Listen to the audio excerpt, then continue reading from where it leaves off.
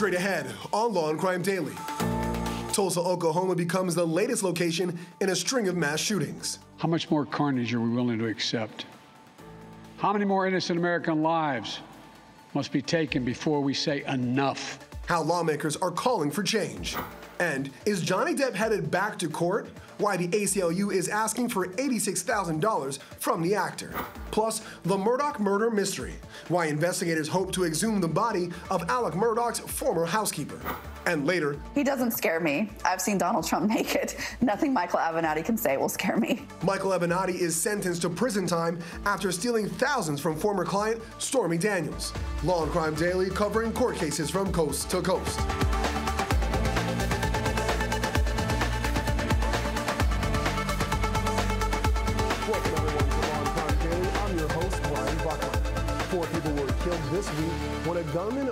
Fire in a Tulsa, Oklahoma hospital. This comes just one week after the deadly elementary school shooting in Uvalde, Texas. Investigators say gunman Michael Louis legally purchased an AR-15 style rifle the same day as the shooting. On Wednesday afternoon, he entered the St. Francis Hospital campus where he shot and killed two doctors, a receptionist, and a patient. Investigators say the shooter blamed the victim, Dr. Preston Phillips, for causing him pain following a recent back surgery. The other victims include Dr. Stephanie Husen, receptionist Amanda Glenn, and patient William Love. At a press conference on Thursday, Tulsa police officers explained what happened when they arrived to the scene. Officers entered the building on the first floor and made their way to the second floor based on the information they received. While on the second floor of the vast building, officers began yelling, Tulsa police, this is something that we train to do. As officers were calling out Tulsa police and advancing towards a suspect location, they heard a gunshot. We believe that was the final gunshot with the suspect taking his own life. Law enforcement across the nation is dealing with increased violence among people. This is yet another act of violence upon an American city. President Joe Biden echoed the sentiments Thursday evening, calling for change in gun related policy following a multitude of mass shootings in recent weeks. After Columbine, after Sandy Hook, after Charleston, after Orlando, after Las Vegas, after Parkland, nothing has been done. This time that can't be true. This time we must actually do something. The issue we face is one of conscience and common sense. For so many of you at home, I want to be very clear. This is not about taking away anyone's guns. It's about not about vilifying gun, gun owners. In fact, we believe we should be treating responsible gun owners as an example of how every gun owner should behave. I respect the culture and the tradition and the concerns of lawful gun owners. At the same time, the Second Amendment, like all other rights, is not absolute. Joining us today is legal analyst Matt Mangino and co host Terri Austin. Matt, are there laws in the books right now that you think create greater chances for the wrong people to obtain guns? Well, you know, um, Brian, what I think is not so much what's on the books right now, but what isn't on the books right now.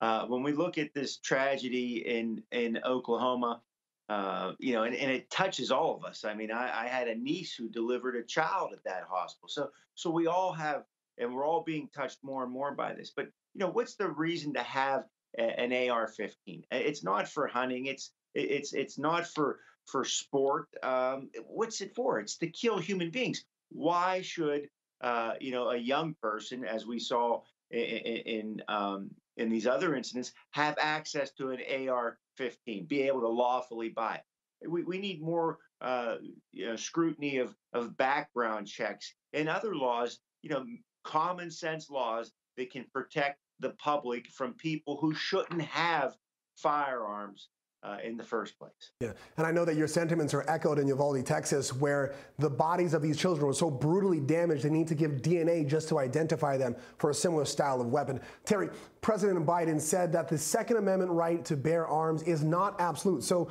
How does the United States fairly and legally curtail that right for everyone's safety? Well, I think they have to do a little bit of what Matt was talking about. And I think there are some steps we can do. First of all, they should ban assault weapons. No one needs an automatic or a semi automatic weapon. They should also ban bump stocks. That increases the speed of the bullets. They should ban high capacity magazine. That increases the amount of the ammunition. You don't need all of that. And obviously, background checks, waiting periods, increase the age, all of that should be done, and it should be done on a federal level. Yeah, it, it, blows my mind. Maybe it's the Canadian in me that there are some people in this country who can't buy a beer at a bar, but can buy an AR 15. That doesn't make sense to me, but like you said, maybe there's some changes that need to happen. Switching gears now to the April mass shooting out of California's capital city, as a fourth suspect is now in custody. Six people were killed and 12 more injured when multiple gunmen opened fire in Sacramento. Investigators believe the shooting was gang related. Last weekend, Lee Payton was arrested in connection to the deadly shooting. Investigators say he was arrested in Las Vegas with the help of the FBI and Las Vegas Metro Police Department. He now faces charges including possession of a handgun and three counts of murder. Police have arrested brothers DeAndre and Smiley Martin, as well as Davion Dawson, in relation to the shooting. Still ahead on Law and Crime Daily, new developments involving disgraced South Carolina attorney Alec Murdaugh and the death of his former housekeeper. But first, Johnny Depp is slammed with another lawsuit why the ACLU is asking for more than $80,000 worth of reimbursements.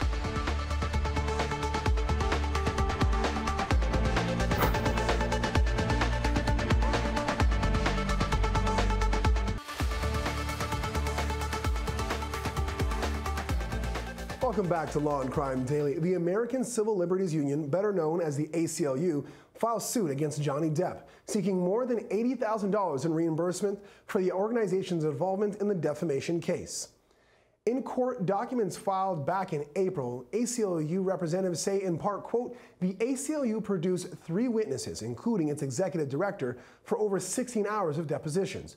Along the way, Mr. Depp rejected numerous compromises to minimize the burden and the expenses on the ACLU and its employees. The lawsuit claims the organization complied with a subpoena reviewing nearly 8,000 documents. The ACLU played a significant role in the defamation suit as Heard pledged part of her divorce settlement from Depp to the organization. Heard later testified she only paid 1.3 million of the 3.5 million pledge to the ACLU as a result of Depp's litigation. Members of the organization also helped draft uh, helped, helped her draft, sorry, the Washington Post op-ed that would become the basis for Depp's defamation claims. As part of his video deposition, ACLU Chief Counsel Terrence Dougherty admitted Depp's name was part of the original draft. And isn't it true that Ms. Heard's advisors initially revised the draft to remove any reference to Ms. Heard's marriage or divorce? I recall a number of email communications back and forth among um, ACLU personnel and Ms. Heard's attorneys where they were um, suggesting edits to the op ed relating to um, matters covered in the NDA. And then isn't it also true that there were some at the ACLU who expressed their belief that excising those references to her marriage and divorce from Johnny Depp made the op ed less impactful, correct? Um, it is correct. That is correct. She was referring, at least in part, to Johnny Depp, correct? Yeah, based on my review of prior drafts of the op-ed, I knew that there were um, that that she was referring to Johnny Depp and her marriage. All right, Terri. The ACLU is suing Johnny Depp for their expenses in connection with the trial. Any chance they'll actually be able to win that argument? You know, I think they're going to settle it out of court at the end of the day. Depp's team is saying there is no requirement under New York law. They're looking at New York law because ACLU is a New York corporation.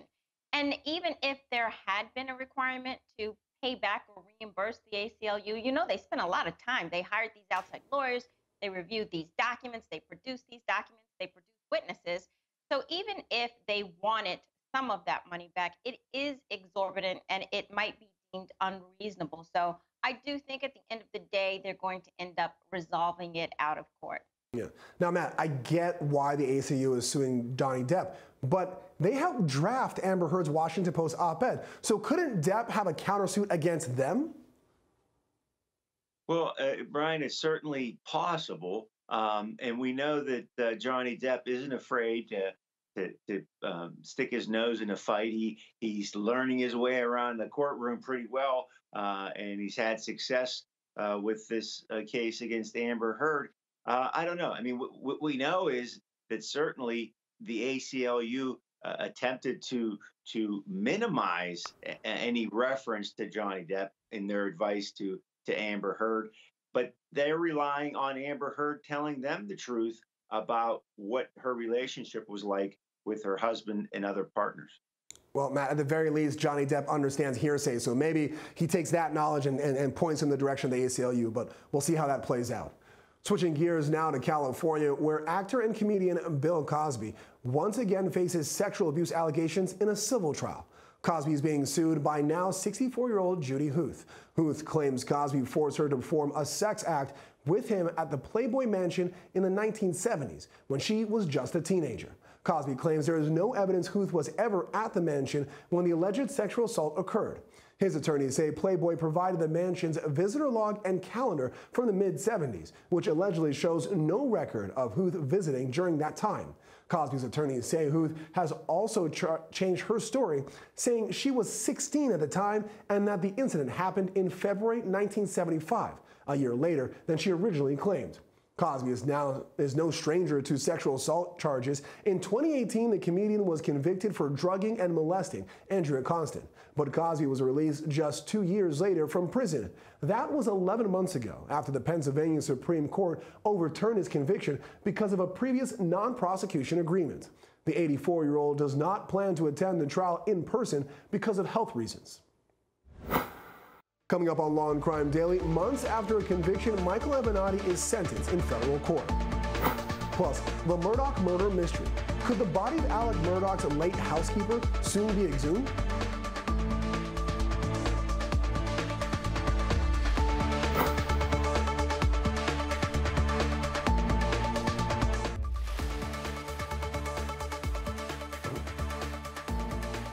Welcome back. We'll have gavel to gavel coverage of a new case starting next week on Law and Crime. It's the Florida trial of Daniel Redlick, of Danielle Redlick, a woman facing charges for the murder of her stepfather turned husband. Redlick is accused of fatally stabbing her 65-year-old husband, Michael, in 2019. Michael was previously married to Redlick's mother. He also worked as the director of the University of Central Florida's Sports Business Management Program. Prosecutors offered Redlick a plea deal two years ago to plead guilty to manslaughter charges, but Redlick rejected it. She's facing second degree murder and tampering with evidence charges. Redlick called 911 the day after she and Michael had a fight where she told the dispatcher her husband stabbed himself. That 911 call gives us a glimpse inside what can be expected in the trial as it moves forward starting Monday. What's going on at 1231 Temple Drive? I believe my husband is deceased. Okay. And why do you believe he's deceased? Because he's been, I, I just, he's stiff and he's, he's been wounded. He might have had a heart attack. I don't know. Okay. Did you just find him? No, actually, it happened last night. It happened last night? Correct. So did you find him this morning? Because I know you said that you believed it happened last night. Did you see him last night? Was he okay or was? He was not okay last night. We had we had altercation and he stabbed himself and I ran into the bathroom and then when I came out I tried to help him and I saw he was lying in blood. And then. Oh. I tried to help him and I couldn't. Correct. Yes. A disgraced South Carolina lawyer facing a slew of unrelated charges has reached a settlement agreement with the family of his former housekeeper who died at his home in what he calls a trip and fall accident four years ago. Alec Murdaugh has agreed to pay over $4 million to the sons of his former housekeeper, Gloria Satterfield. In the wrongful death lawsuit filed last year, Satterfield's family claimed they never saw any money that was supposed to be paid by Murdaugh's insurance company after her death in 2018. Earlier this year, Murdaugh confessed to diverting $4 million meant for the Satterfields into his own account. South Carolina's Law Enforcement Division is also hoping to find more answers about Satterfield's death and how and have requested her body be exhumed. Murdaugh is facing more than 70 unrelated charges for alleged financial crimes and other charges related to a scheme to commit suicide and defraud his insurance company. Murdaugh's accused of stealing nearly $8.5 million from his former clients. Investigators are also still working to solve the murder of Murdaugh's wife and son. No one has been charged in their 2021 shooting deaths. Terri, it seems that the settlement agreement is the easy part, and probably what the hard part is. Do you think the Satterfield will be able to collect all that money? You know, I think they're going to have to get in line. We have seen that Murdaugh is in so much trouble in so many different areas that he has defrauded people and taken people's money. And, you know, obviously there are the deaths that surround him. But the money is now being managed by a receiver. And so there are other creditors. And the family's being very patient, but they know they're going to have to wait for this receiver to collect more assets as far as Murdaugh is concerned. And they're going to have to wait until it's their turn to get paid. So great, they have a settlement for 4.3 million, but getting that money is going to be very difficult. Yeah. Matt, maybe it's the public defender in me, but if criminal charges are brought for Satterfield, I can already hear the opening statements uh, for Murdaugh. This isn't a coincidence. It's a murder, is what I expect a prosecutor would say. But do you see any evidence to support that argument? Well, at this point, we, we don't, but uh, they're exhuming uh, the body of this uh, woman so that uh, uh, a, a, full autopsy can be done to determine the actual you know, cause of death. Uh, and you know, this is a bizarre case. Uh, you know, we, we, first, you know, he tries to stage his own uh, death. Then, uh, you know, you know, the, his wife and daughter, I mean, wife and son uh, were were also uh, murdered. And now you have this this case of the housekeeper. But it's not unusual for old cases to kind of bring new cases to light. We saw it with Robert Durst in the cases that we we covered here on Law and Crime in the Daily, you know that where there's smoke, uh, there's fire. So you start digging and you, and you find additional um. Yeah, couldn't have said it better. Where there is smoke, there is fire, and maybe this uh, exhuming of the body finds that fire. When we come back, Michael Avenatti is sentenced to federal prison. How much time the disgraced attorney will spend behind bars for stealing thousands of dollars from former client Stormy Daniels.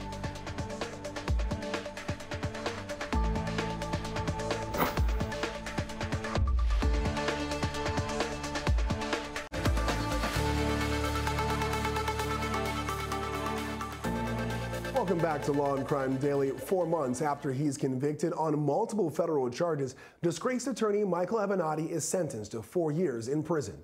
As Law and Crime Daily reported, Avenatti was convicted on counts of wire fraud and aggravated identity theft after stealing nearly $300,000 from former client Stormy Daniels. Daniels, an adult film actress whose real name is Stephanie Clifford, rose to fame ahead of the 2016 presidential election when allegations emerged of an affair between her and then presidential candidate Donald Trump. Daniels later wrote the book Full Disclosure about the incident. Prosecutors say Avenatti took thousands of dollars from Daniels as part of her book deal advance. Avenatti made headlines again when he elected to represent himself in the case and questioned Daniels as part of cross examination. Right now, Avenatti is serving a 30 month prison sentence on a separate conviction for attempting to extort more than $20 million from Nike. A portion of his latest sentence will be served concurrently with that. Next month, he is set to go to trial in California for additional charges stemming from $10 million embezzlement allegations. Matt, I know it, it's a lot. So he's already facing time on two cases, somewhat concurrent because of the length of time, and has another one coming. So can he serve time for all of these cases at the same time, or will it be one after the other with this California case coming up? Well, uh, Brian, each state has their own uh, sentence guidelines, their own um, statutes that govern the way sentences are going to be uh, imposed by judges. Uh, there is a lot of discretion. And part of that discretion in most situations is the question of consecutive sentencing, one sentence after the other, or concurrent sentencing, sentencing at the same time. We know the two of these sentences are currently running together. We'll have to look at the California case ultimately if he's convicted and see what their sentence guidelines say in terms of concurrent or consecutive sentencing. Yeah, First two cases in New York, this last one in California, he's literally got cases from coast to coast. Now, Terri, when it rains, it pours. Avenatti is facing charges all across the country. Do you think he could try to reach a plea deal with the remaining charges, though? You know, I think he better try to reach a plea deal. As you said, he is really facing charges everywhere across the country. And in fact, if he again goes to trial, say he goes to the California trial, he could be deemed guilty yet again and face more time. He's already admitted that he's made lots of mistakes. He fought back tears. He said he's destroyed his career and his family. So he seems to take some responsibility for his actions.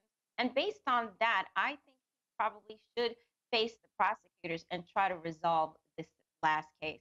Yeah, especially if we can get that time done concurrently. Well, thank you both, and thank you for joining us here on Law and Crime Daily. We'll see you next time as we discuss justice in America.